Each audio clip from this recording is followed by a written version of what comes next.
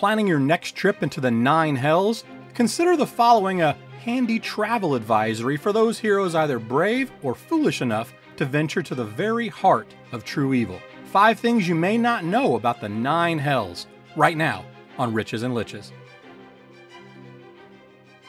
Welcome, adventurers. I'm Rich, and this is Riches and Liches, where it's all things Dungeons and Dragons, tabletop role playing, and at least today, fiendish devils. As many of you that follow my communication efforts on the channel may already know, I'm currently deep into production on a massive multi part lore series covering the nine hells in excruciating detail, and I aim to create the definitive lore series on this most fascinating and terrifying plane of existence. In it, we will dedicate entire episodes, we're talking about at least 13 parts, covering each of the nine layers, the origin and history, the geography, the rulers, the politics, trials, reckonings, and a few surprises. Now, the process of creating these epic sized projects is a significant time sink.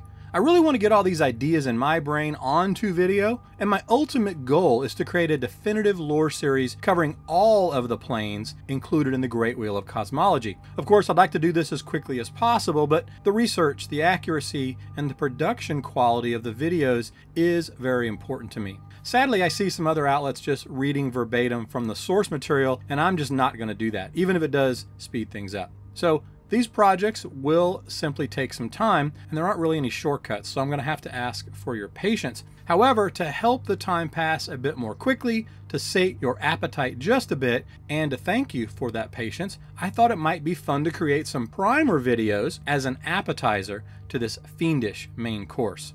And this new video series that I'm launching today will do just that. Five things you may not know. This will cover a plethora of various and differing subjects in the future, but today the subject is, of course, the Nine Hells. I have always thought myself pretty well versed in the Dungeons and Dragons lore, specifically as it pertains to both the history and events of the devils and demons. But I've learned a few things in my research that I simply didn't know, so maybe you will too. I do need to put a disclaimer out here in advance of the comments these videos will most certainly generate. Like many of the epic events and set pieces in Dungeons Dragons lore, time and game versions have created obfuscation, conflicts, and outright retcons that often muddy the timelines and the historical accuracy, 4th edition being the most obvious. But that's really unavoidable. And at the end of the day, it's your table, your game, and your universe. So my recommendation is to never let any lack of clarity stop you from enjoying what is still some fascinating lore. So pick a version of the canon you find most enjoyable and accurate, and make that the factual history of your world. For the upcoming definitive lore series, I really try to stick to the sources that I find as canon, specifically the second and third editions of the game, making note of fringe theories, conflicts, and retcons wherever possible. However, for today's 5 Things video, as you'll soon see, we definitely tread into the murkiness of speculation, theory, and rumor, which can also be a ton of fun. So grab your archaeology hat, here are 5 things you may not know about the Nine Hells. We start today's 5 things with an interesting archaeological find an alternative origin story regarding Baator as a civilization that existed in a time before the devils arrived to claim their domain. This mythology is one of several diverging branches from the Asmodean and Baator origin tree that we will encounter in our lore travels. While the absolute truth can likely never be known, there does exist a scattering of evidence across a few official sources that make mention of this civilization as the ancient Baatorians, existing before the creation of the Nine Hells. Unfortunately for us lore explorers, there does not exist any official source material from TSR or Wizards that describes anything more than the passing references to these ancient Baatorians, but their very mentioning in and of itself does imply that they did indeed exist. Piecing together the historical fragments we do have is not easy, but in doing so we can, at least, make the case for this civilization, now lost to time, as well as the fiendish transformation of their realm. Whether this alternative origin becomes canon in your world is left up to you, fair dungeon master. I only present the information for you to consider. We start with the earliest reference, found in the 1982 Advanced Dungeons & Dragons adventure, The Lost City, Module B4, which introduced the Dungeons & Dragons universe to an entirely new world, a fascinating realm and underground city located in a desert plain named Cynidicea. This first source includes references to the culture and politics of these desert people, as well as introducing us to the malevolent power known only as Zargon. In this adventure, we explore the origins of this evil entity being discovered by these Cynidiceans in his ancient desert pyramidic lair. While the Lost City module was, for its time, a well documented adventure with some detailed backstory from which we can dig, we're left to draw some of our own conclusions where gaps exist. The next stop in our archaeology of these ancient people takes us forward 22 years to 2004 and Dragon Magazine number 315, which provides more historic clues on the Cynidiceans. We learn that the desolate wasteland region they inhabited was called the Great Alasiyan Desert, and that through a combination of magic and engineering, they were able to create a fertile paradise of sorts.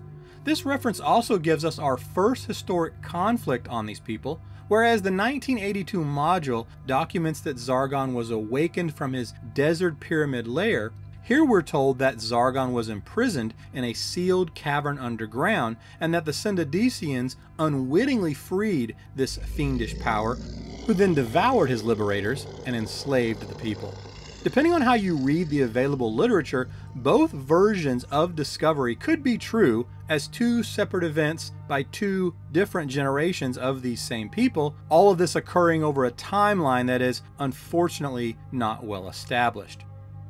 Regardless, to survive, these ancient Baatorians were forced to provide regular blood sacrifices to and eventually came to worship the eternally voracious Zargon as their god. In time, the Cynidiceans, this civilization of clever desert humans, thought to be of good alignment, decayed, and they were, over many generations, transformed to a pale skinned, white haired race of blood worshipping evil, all in the name of Zargon. But our best evidence of this Baatorian time before hell can be found in the third edition book, Elder Evils, which provides us with the following quoted information. Zargon ruled Baator as the father of the ancient Baatorians, a long extinct race that preceded the Baatezu. With this, we can easily draw the inference and parallel that the Cynidiceans were quite possibly what we now simply refer to as these ancient Baatorians. But what do we know of Zargon? The research of the literature tells us he was both a fiendish and eldritch monstrosity, roughly humanoid in shape, though significantly larger than humans, and in place of arms and legs, he had 12 horrifying tentacles. His head was that of a twisted monstrosity of spikes and horns with a large, prominent black horn in the center of his head. The Book of Elder Evil goes on to conclude our tale that when Asmodeus and his allies seized the Nine Hells, they purged the plane of these ancient Baatorians, removing Zargon's rule and enslaving the people, thus becoming among the first mortal souls to serve Asmodeus as devils. There are a myriad of conflicting reports on Zargon's actual level of power, from a near invincible god to a demon prince of the abyss to a mere minor deity or even less. And further, some scholars have even speculated that Zargon was in fact the first and original ruler of Hell, an at least plausible conclusion based on our telling here, and something that the Lords of the Nine would certainly want suppressed or erased completely from history. Regardless, it is here that our story of an entire civilization of people end, now all but lost to time. And the creation of the Nine Hells, depending upon your reading of these myths, was functionally a genocide of an entire civilization, meeting their dread end at the hands of the archdevil and infernal deity we know as Asmodeus, and potentially the gods of Mount Celestia. But that is a topic for another day. Gaining access to the lower planes is no simple matter. One does not just decide on a whim to take an impromptu day trip to Baator. In fact, any wise adventuring party might altogether reconsider any thought of entering such a hostile and evil place, choosing instead perhaps to slay a dragon or save a damsel in distress. But heroes got a hero, right? And if you must, then you'll find that even getting to the Nine Hells is a monumental task in and of itself. The best, and I use that word very loosely, means to access the first of the nine layers involves a gateway portal located in a small city called Ribcage, located on the fringes of the Concordant domain of the Outlands, or simply known as the Outlands. Deserving of its own dedicated episode, the Outlands is a place of exception to the rules of the cosmos. Specifically, it is a place of true neutrality, a story for another time. But Ribcage will hold a special interest for anyone seeking entry to the Nine Hells, as the Cursed Gate is located there. And while the Cursed Gate does provide access to the first layer of Hell, Avernus, this portal is both located in a heavily fortified citadel and guarded intensely by the Baatezu, who require an official invitation to allow passage. That's correct. In a domain of law and order of the evil kind, bureaucracy and paperwork are very important. And if you don't have the official letter, which I presume would be written on letterhead of a particular archduke, complete with a wax seal, then you're not getting through that portal. Lucky, or perhaps unlucky for you intrepid heroes, corruption reigns on this side of the gate, and finding a good forgery and or greasing the right palms with ample coin is an understood and accepted practice. After all, it's your very soul at risk, not theirs. And while the Cursed Gate is a official means to breach the lower planes and enter Avernus, it is not the only means. There is Sigil, also known as the City of Doors, a strange floating city that is only accessible by portals and magic. Sigil serves as a hub to interplanar travel and the arguable center of the multiverse. It's located in the center of the Outland. Travelers without an invitation to the lower planes should be aware that in this fascinating city, innumerable portals exist. In fact, any bounded opening, from a doorway or an arch to that of a picture frame, could in fact be a portal to another plane or simply to another part of the city. What may seem as completely random is rumored to in fact be a highly complex and well guarded secret of patterns and mappings, meaning that for the right price, probably a lot, this knowledge could be harnessed, allowing you passage to Avernus. Any hero seeking such knowledge and access should, however, be very aware of the great danger that lies in not knowing who awaits on the other side of such a portal especially for a mortal with no invitation or authority to be there. And now that you're in, have you considered how you're going to get out? As part of my continued efforts to save your life by discouraging your ambition to seek entry into the Nine Hells, I've just laid out for you the sheer difficulty and even the act of getting to Hell's first layer, Avernus. Assuming for the moment you were not slaughtered the moment you emerged, with your soul not immediately taken to the maggot pit where your fate now as a lemure awaits, now what do you do? The battle scarred and perpetually blood-stained first layer of Avernus is one of the most deadly in all the multiverse, where fiendish devil patrols abound and incessant mortal-seeking fireballs rain from the fiery sky. Not to mention, you'll be lucky to not stumble upon a raging battle as fiendish and abyssal forces clash as part of the eternal blood war. But even with a little, okay, a lot of luck on your side, how do you traverse to the lower planes? While there is still much undiscovered in the lower planes, as many scholars and historians that have traveled there were never to return with any of the knowledge they gathered. One thing is certain. To reach any of the lower layered domains of evil, you must first pass through those that preceded it. No shortcuts for you, brave heroes. While portals do exist that can transport you down through each layer, there are two major obstacles preventing their use. The first lies in their location, as portals known to exist are well guarded and most usually housed within the fortresses and citadels across the various planes.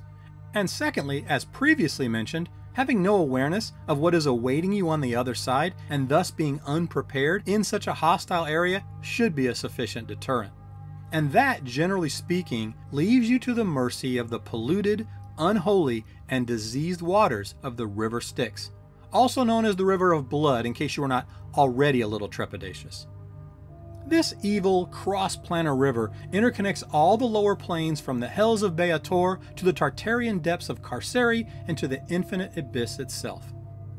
In Avernus, the river swells within its banks as streams of blood from the unending battles of the Blood War increase both its depth and speed. Tributaries and branches beyond count trickle throughout most of the lower layers as well, but the main channel of the unholy river connects the first five plains all the way down to Stygia, where the Styx cuts a channel through the great frozen sea in the domain of the Archduke Levistus. In Stygia, the river is the only open water in an otherwise frozen plain of terrifying cold and endless ice. The channel itself is often choked with massive icebergs, perhaps even the very icy prison that holds Levistus himself. And the open waters of the river are filled with fiendish sharks and kraken looking to feed on the isolated boats manning the river. It is here that the official historical record states the river ends, but well known rumors speak of little known offshoots that run deeper through the trenches of the lower layers, and perhaps all the way to the ninth layer, Nessus, home to Asmodeus, where rumor is the Styx dumps into the forgotten lake. But be wary, adventurer, the journey will be treacherous, and to be frank, some may not survive. Not only are the shores of these fetid waters often well patrolled, but those same waters are about as evil as anything else in this unholy domain. By merely touching the waters, you run the risk of losing all memory of your past forever. It is for all these dangers that anyone foolish enough to travel to the Nine Hells would be wise to locate and barter with the Marraenoloths. These fiendish creatures are Yugoloth ferrymen who can expertly navigate the river Styx. And as is the nature of devils, they're happy to bargain and contract for the right price to transport mortals such as yourself along these fetid and supremely evil waters. But beware, the price will never be cheap, a king's ransom, one might say, and the deeper you wish to go, the more extreme the price. I'm guessing that saving that princess from an evil dragon is sounding mighty appealing right now, wouldn't you agree? Malbolge, the sixth layer of hell, was once ruled by an often whimsical but altogether hideous and evil trickster, the night hag countess Malagard. Rumored to once be the consort, imagine that, of the former Lord of the Sixth Moloch, she played a fascinating role in the Reckoning of Hell, another seminal event that is included in my forthcoming definitive lore series on the Nine Hells. Malagard's appointment as the ruler of Malbolge by Asmodeus himself was quite the anomaly in the historical hierarchy of the Hells, and she holds the title of being the only non devil ruler under the reign of Asmodeus a fact that was not lost on or appreciated by the other archdukes of the plains. While her rule was not particularly special or noteworthy, her demise most certainly was.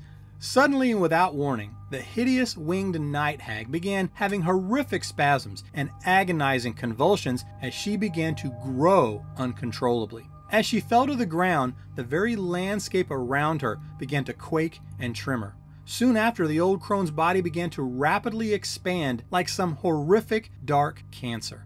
For a total of four agonizing days, the Countess' wails of torment and pain echoed throughout the entire plain for all to hear. The cracking of her bones like that of a deafening thunder, and the tearing of her soft tissues and loss of vital bodily fluids like that of a raging river.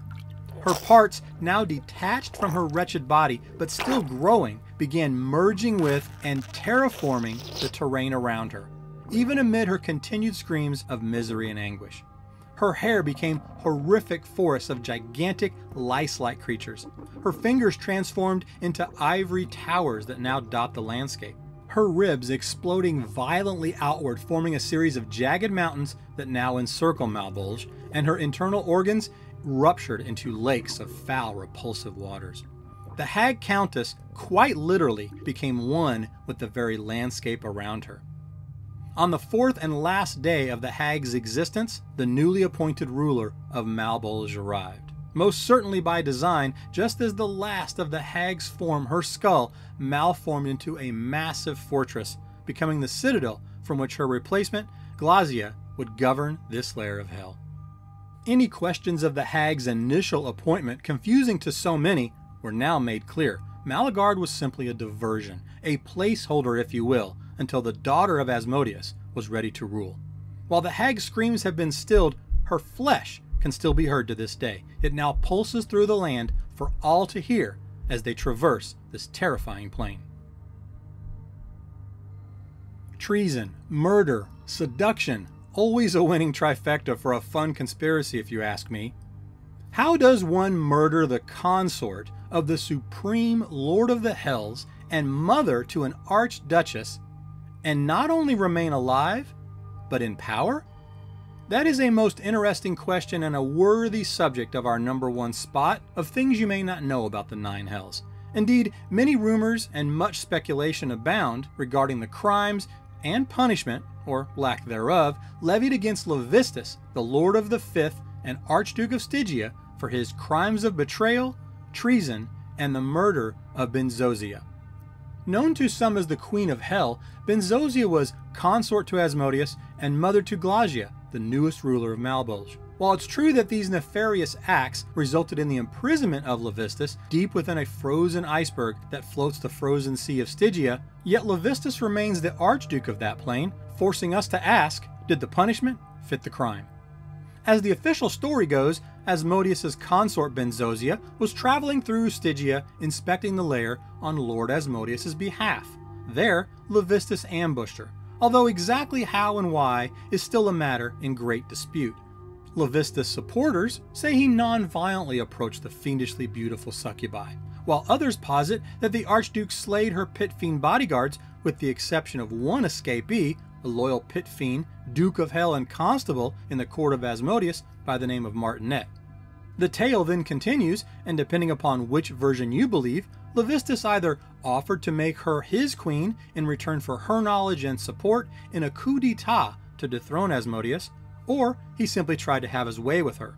Either way, when Bensozia refused him, the official telling is that Levistus, both embarrassed and infuriated at this rejection, proceeded to commit the heinous act of murdering the Queen of Hell. So, is that all there is to it? Well, it would not be on this list if it were. Rumors have swirled since the crime and its all too lenient punishment that this was merely propaganda created to cover up a real, insidious truth.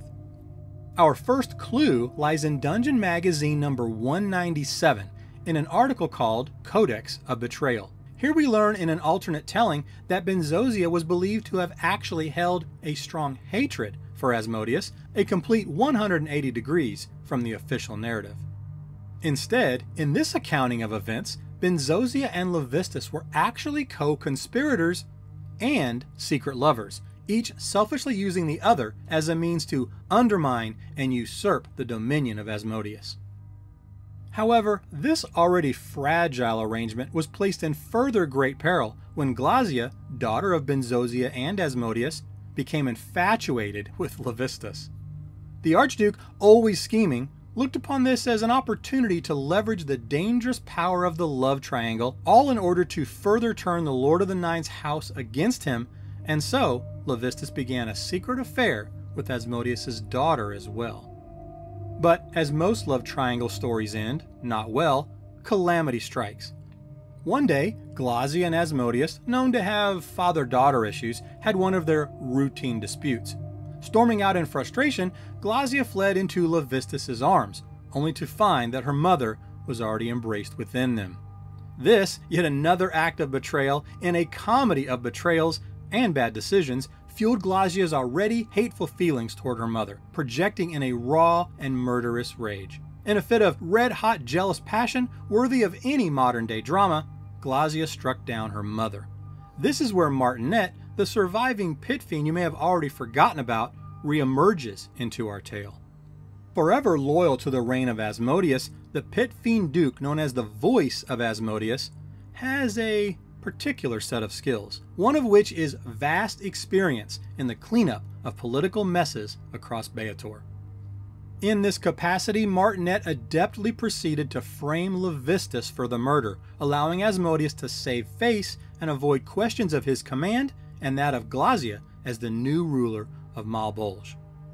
If this alternative story is to be believed, Asmodeus's choice to imprison but spare Levistus was another in a string of cold, calculated moves, perhaps done merely for the sake of precedent rather than from some personal feeling of anger or loss. Glasya's newfound hatred for Levistus lends even more credibility to these series of events. She is said to be obsessively focused on Levistus to this very day, although some say her anger towards him is but a mask for her more intimate true feelings.